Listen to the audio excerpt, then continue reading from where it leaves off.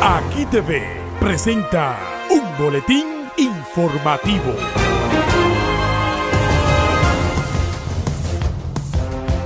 Los cuatro haitianos asesinados la pasada semana en la cárcel de la Victoria fueron golpeados, violados sexualmente y ahorcados porque uno de ellos no dijo a sus agresores en qué lugar del penal había escondido 35 mil dólares y más de un millón de.